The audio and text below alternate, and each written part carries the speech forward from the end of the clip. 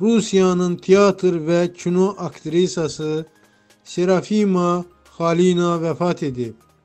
Biqaz xəbər verir ki, 97 yaşlı aktrisanın qızı Lyudmila Golubitskaya onun Moskvadakı mənzilində ölü vəziyyətdə tapıb.